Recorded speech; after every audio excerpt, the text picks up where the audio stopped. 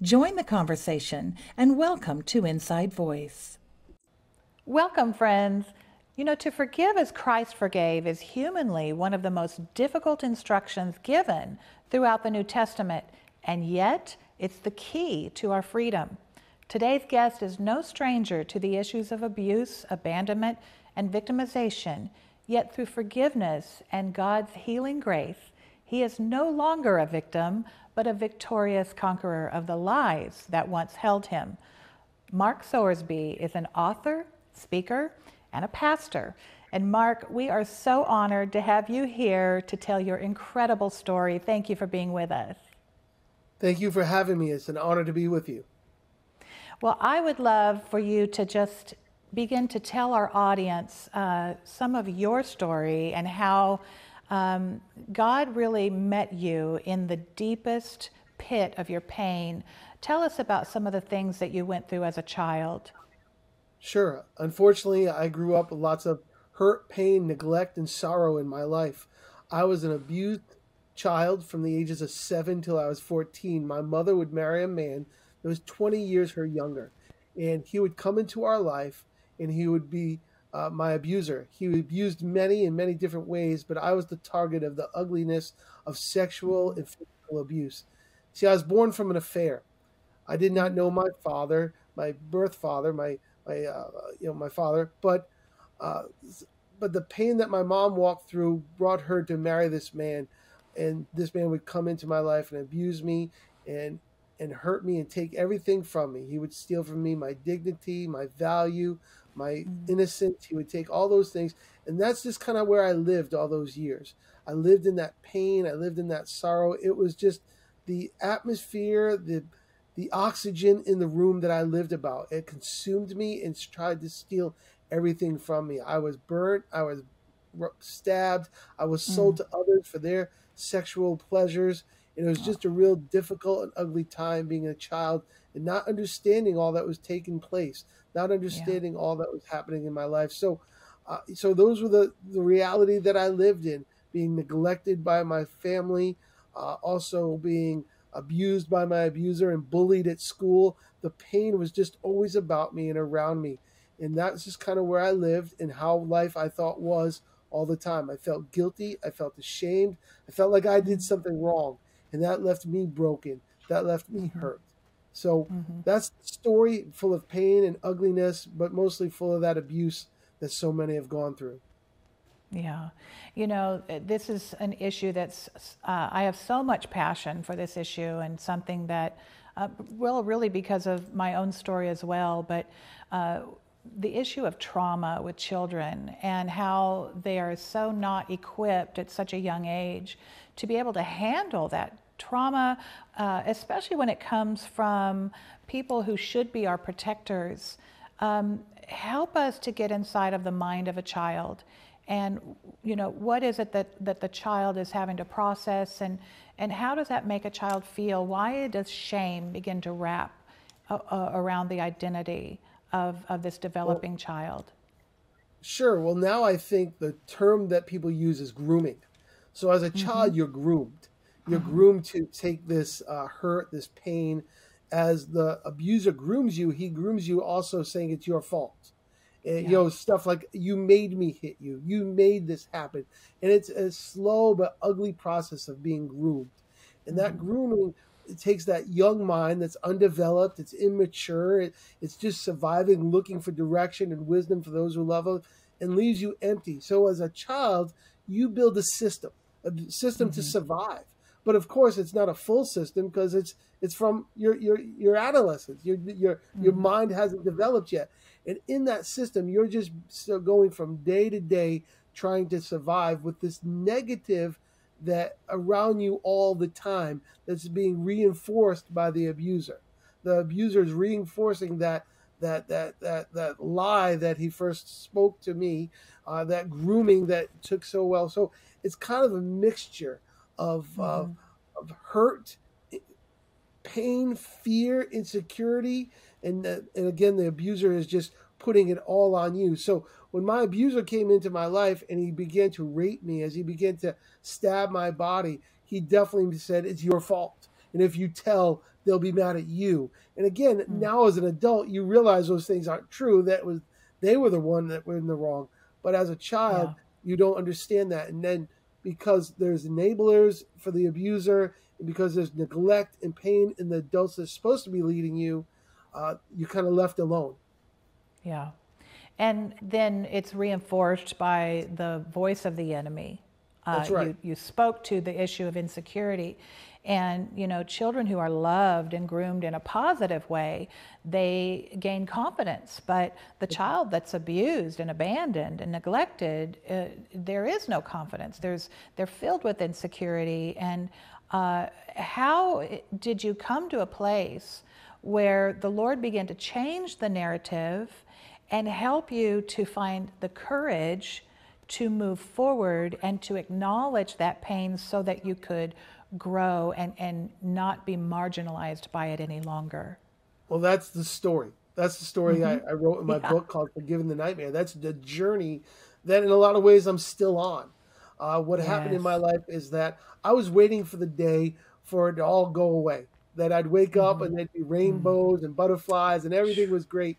And in a lot of ways, that day's never come. But what came was mm-hmm. Christ became bigger. The Word of God, the Spirit of God, the love of God became bigger than the lies of the enemy. It's true mm. that I was abused. I don't, I can't forget that. I, I don't ignore that was a part of my life. But God became bigger, and that's where the journey mm. started. I call my book "Forgiving the Nightmare," but I didn't start this journey off saying, "Lord, help me to forgive." I started this journey saying, "Lord, I want more of you." In seeking mm-hmm. me first the kingdom of God, seeking God so and the reality of who He is, He brought me to a place to learn how to forgive. So, mm-hmm. seeking God, the forgiveness was the overflow, was the fruit of that. But again, mm-hmm. it was not simple. It was not easy. I had challenges. I had doubt. I wanted to throw in the towel more than once. Yeah. I was the I was the one that He left the 99 for many, many times. So it's an honest journey of how to find peace and victory and it's an honest mm. journey that that's what we want to tell. There was a real abuse in my life. Yeah. I was traumatized. It stole from me everything. I found Christ, and by precept by precept, step by step, God was able to give me back as I learned to die to self and live for God. Amazing. And, you know, one of the things that uh, the Lord showed me in my own journey was that it's through these woundings of the soul that the enemy comes in to hijack our identity, which really the origin of our identity is the, the image of God. We were all created in the image of God. And he hates that. And I think that he targets young children often that are marked for God. But, you know, people, the reason I say this, Mark, is that people would hear you say that and say, why would you have to deny yourself? I mean, you have a right to your pain. And uh, because the world's system of thinking is, you know, you've got to put your, your fists up and you've got to protect yourself. It's about self preservation. But what the lie of the enemy does is to try to turn us against God sure. in that pain and then not trust Him. But what you're talking about here, and I'd love for you to unpack this a little bit more, is that in the, the journey of surrender and letting go and saying, God, I see that you were with me and you preserved me even in the depth of my pain and the depth of the abuse. And you are pulling me out of the wreckage and you have a purpose. Let's go there for a minute and help people understand that Jesus is the hope on the horizon. And it's all about shifting our attention. Let's talk and, about that. And that's exactly, first, I want to say, I felt all those expressions. I felt yeah. anger. I felt I wanted mm-hmm. to be self protecting, and and every expression that the flesh feels, I felt I shook my fist more than once in heaven. I asked God, why? If you were real, why didn't you? I all those mm-hmm. expressions mm-hmm. and questions yeah. I asked. So when right. I share to you that I I've forgiven, it's not just this one time went to church, said a prayer, right. threw two bucks in the plate, and it was done. It's a journey. So when I say mm-hmm. i am there, I've gone through this journey, but the journey is where God had to teach me to trust Him more. And that's tough mm-hmm. because one of the first casualties, not the only casualty, but one of the first is that when you've been traumatized, you don't trust anybody. You don't trust God, yeah. you don't trust people, you don't trust the church, you don't trust anything because everybody's betrayed you. And God had to teach me how to trust Him first. God had to teach me that I mm-hmm. could really lean on his word. So I sought this. I didn't seek a denomination. I didn't seek a church. I didn't seek, I sought the Lord and said, God, everybody else has lied to me. Now I'm going to seek you mm. and you teach me who you are. And I remember that mm. hearing that expression, by faith you can move a mountain. And I thought, Lord, what does that even mean? By a mustard seed, I can, what does that even mean? And the Lord said, Mark, can you move a pebble? I thought, sure. And precept by precept, the pebble became a stone, the stone became a boulder, Mm. the boulder became a hill. And many years later, God said, mm. let's go move that mountain. And I knew he meant forgive. And I said, Lord, it's too big. It's too hard. It's too mm. difficult. I have the right to be angry. I have the right, but that anger was consuming me. Even though my mm. abuser didn't abuse my body for many years, his words still echoed in my head, Oh, in my spirit. The abuse was the rudder that I steered my life by. I was a Christian. Mhm. I preached in churches, but that abuse, that hurt was always about me. yeah. And when God told me to move Mhm. that mountain, I said, God, how can I do it? And the Lord spoke to my heart. He said, I helped you move the pebble, the stone, the boulder, the rock, and now I'm going to help you move that that mountain. But again, it wasn't overnight, and there was a lot of doubts. And I asked God hard Yeah. questions. And when you ask God hard questions, get ready for real answers. And He Yeah. spoke to me the same thing He spoke to you. I've called you from your mother's womb, Mm. but the enemy has tried to destroy you. It's not an easy Mhm. answer, but it was the honest Mhm. answer. No. Yeah. So, so good.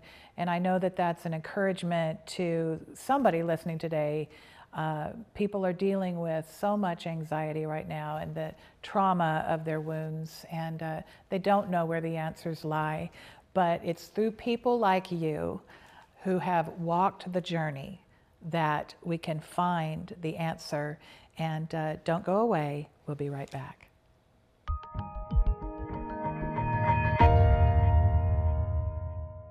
Paul and Brenda Crouch here, baby. We have great plans coming up. we do. We're here in Anaheim at our beautiful studio that God has provided, but what do we have coming up? We've got amazing content coming up that we're actually very excited about. We just finished season four, and we have plans to do some broadcasting from around the world, mm-hmm. uh, different locations, and God's opening doors for us. Amen. But they say you have not mm. because you ask not. Mm-hmm. And in four years, we have never asked for a donation or any Yeah. kind of support, and now we are.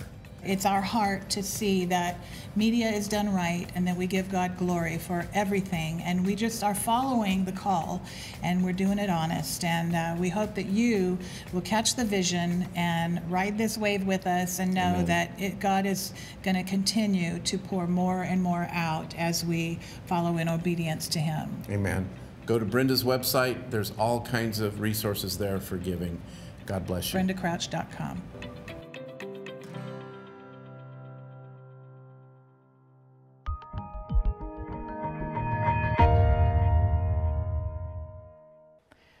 we're back with Mark Sowersby. And Mark, your story is really heart wrenching and inspiring at the same time. It's incredibly powerful.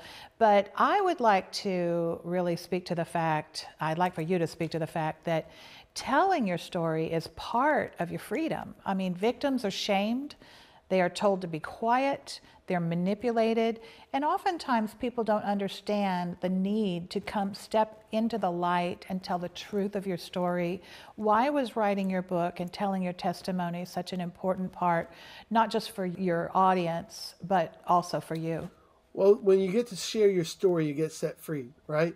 I believe that when we speak, when we share, it, it comes out, and when you keep it inside, it, it like just continues to eat away. So when somebody Yeah. hears you and believes you, what a power Oh, there is in that. Come on. having having defenders, having people that, that hear your story and support you.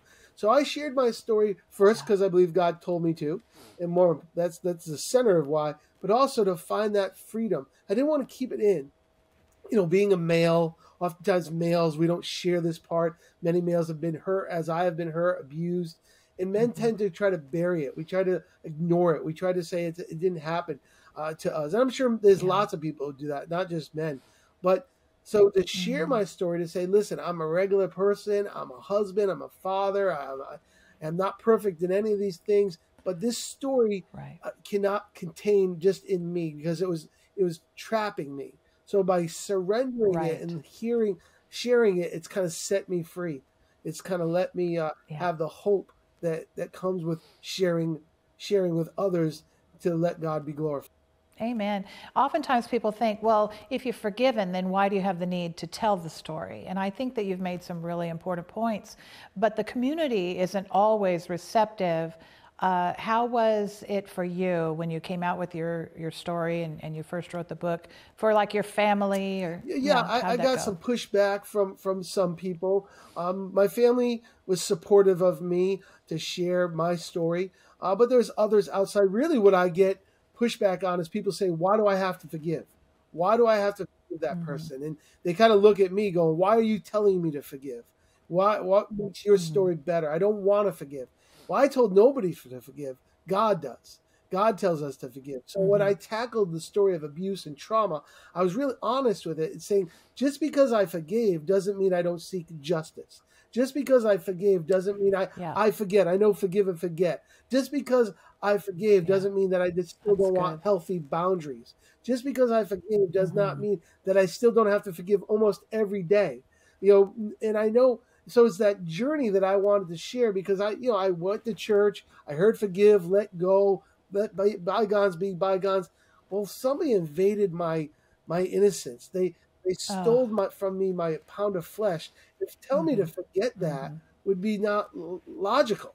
So how can I forgive that and still be in the process? So yeah, I got a little pushback, but mostly because I share what Christ said. You know, and the importance of sharing what Christ said is there's victory in that. Mm-hmm. I really believe that stories like yours, like mine, and so many others are what will help the church to equip in this season as we move forward in, in the deeper levels of healing.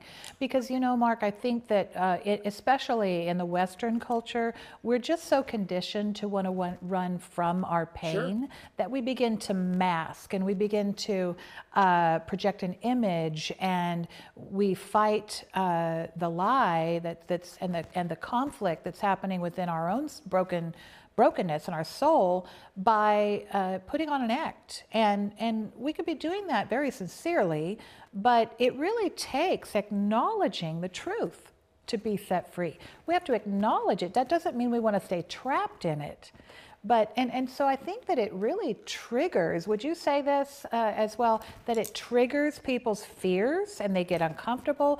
They don't. It's kind of like you know when somebody when there's a death and, and they and we just don't know what to say. We would rather just either ignore or we say the wrong things and we're insensitive. And these are people that are saying things from total inexperience and ignorance. So you know how do we be sensitive to the need? To come out of hiding and to heal. Well, I think a couple things happen there. First of all, like we talked in the last segment, you know, the defense mechanisms that we build. And oftentimes when we've had these traumas, mm-hmm. we, def- we the defense mechanism we build is to be accepted. So we become all things to all people by denying who we mm-hmm. really are. If I need to be the clown that mm-hmm. day, I'll be the clown. If I need to be the jock Wow. that day, I'll be the jock. Whatever I need to do, do to find Yeah. acceptance by losing who I really am. So that's a makeup and a defense mm. mechanism because we know how broken we are and we don't want anybody else to see that. So when it does get exposed, the fear, the fear of that, saying they're really going to know, they're really going to know and maybe blame me or make me feel feel as bad as I already do about it. So I would say, yeah, that's the 1st mm-hmm. thing.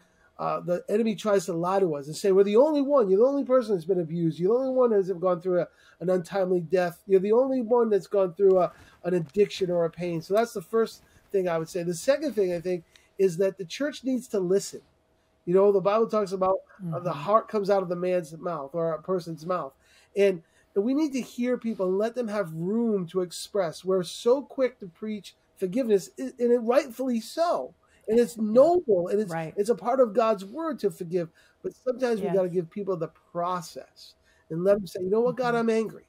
You know, God, I'm sad. God, I'm disappointed. God, I'm fearful. And as we give God people the process to go through that, God can meet them in each one of those journeys. So I say that you know we, we we hide it because we're afraid of it, And then when it rises up, we don't know what to do with it. We want to put on that protection again and bury it. Mhm. And then uh, the church just says, forgive and forget sometimes. And we go, no, I, I, I'll Mhm. never forget how bad that rape was. I'll never forget being locked in a van and having other men rape me. I won't forget the piercing of a screwdriver that went through my flesh or the cigarettes that were burnt on my feet. I'll never forget that. But I can Mm. still forgive it by the grace of God and having a true understanding that Mhm. forgiveness for me is meaning that I've put it into God's hand, a righteous and just God. Amen. And that righteous and just God walks us through the process right. of healing. It's from glory to glory as we look into the mirror of his glory, as it says in the book of Second Corinthians, that it's in that place that is like a mirror to us right. in his glory. That in the presence of Almighty God, that we are transformed from the inside out. How important is uh, vulnerability to you, and, and how does that look like the picture of Christ? Uh, because telling your story from a place of rage and anger is maybe the you know the first step of someone coming free, but it's not really. Uh, that's not the power That's of our story. The power is in the the ability to be vulnerable, but in the power of forgiveness. So, can you speak to that Sure. I, again, I'm blessed and thank you for giving me the opportunity to speak about the glory of God because that's what really lifted me up. This story is not an abusive story. It's not a story about trauma. Mm-hmm. Right. It's a story about journey of God's coming to me and, and bringing me out of that miry clay and setting my foot upon the rock. Mm-hmm. You know, I think about when Jacob wrestled with an angel all night and he wrestled and he said, I'm not going to let you go until you bless me. And the angel said, What's your name? And we know Jacob in the Old Testament meant deceiver and liar. And he said, Now you have a new name. It's Israel. And in, in the NIV, it says, Because you've wrestled with God and you've wrestled with man, and now you're an overcomer. And in a sense, the, the deceiver wrestled with God and he became an overcomer. The process to take me from victim to victory, the process to take me from broken to whole, mm-hmm. the, pro- the process. And that's what God became. He became my, my Abba Father. God became the shield about me. Mm. He became the still small voice in the wilderness. He became my peace. He mm. became my righteousness. He is the lifter of my head and the lover of my soul. And that was hard because I was mm-hmm. so trapped by the abuse. But inch by inch, precept by precept, one piece at a time, that Yeah. mustard seed I gave to God. And God moved the mountain by me giving that mustard seed of mm. love, and it would grow and mature. So those identities that once tried to trap me, that I was broken and ugly and foolish and had, had nothing valuable to give to anybody. I was dirt. I literally thought I was dirt. Yeah. Right, right. But God set us free.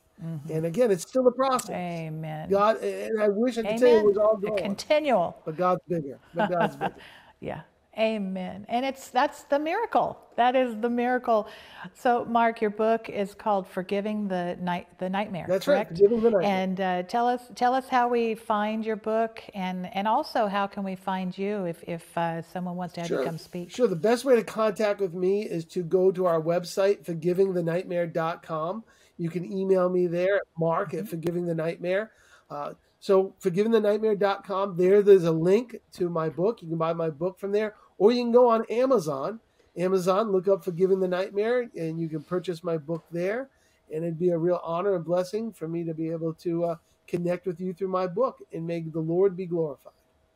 Awesome. Well, we sure do appreciate you, friend. And it's just such an honor to be able to tell your story and the goodness of God in the midst of such incredible pain. Um, in the next minute, could you just give an encouragement to someone that's watching today who's been dealing with hopelessness? Uh, sure. You know, the enemy is a liar, and he wants to lie and say, You're the only one. You're the only person that's dealt, as I said earlier. And that lie becomes so loud, and you are too ashamed or too afraid to share our pain. But God's there for us, and He's given us great groups, He's given us organizations and counselors and, and people to come beside us on our journey. The first lie is that you're alone, but you're not. There are people, not perfect people, but there are many people who have walked where you've walked Yeah. through addiction and pain and sorrow and abuse that want to lend their love, lend their support, lend their wisdom to see God be glorified and you be set free in Jesus.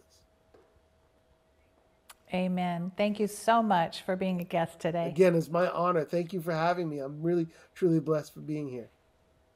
We'll do it again. And friends, I want to thank you for being a part of this conversation. I know that you were deeply encouraged. Come again next time. I'm Brenda Crouch.